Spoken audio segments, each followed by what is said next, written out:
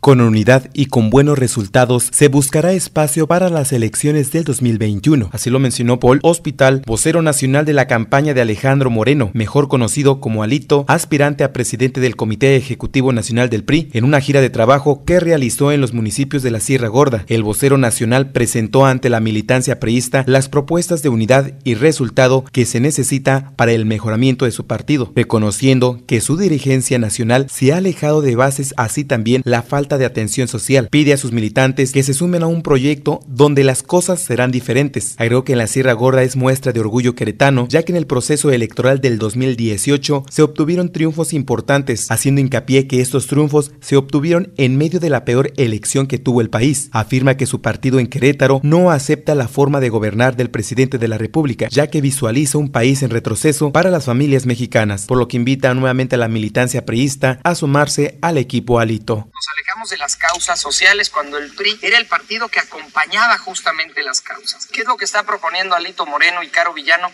Que seamos nuevamente el partido que encauce las causas de la sociedad. Que si hay un priista, si hay un mexicano, una mexicana que tiene una causa que defender, por cuál luchar, al lado de este mexicano va a haber un partido sólido, un partido fuerte, que alce la voz y que les ayude a conquistar eh, su sueño. Que construye cada mexicano en lo particular será la historia de éxito de nuestro país. El vocero afirmó que durante este proceso interno de 45 días recuperarán la confianza de los ciudadanos de todo el país. Finalizó diciendo que el aspirante Alejandro Moreno volverá a Querétaro una vez siendo dirigente nacional para reunirse y dialogar con cada una de las dirigencias de la zona serrana. Informó para Noticias RTQ Alberto Elías.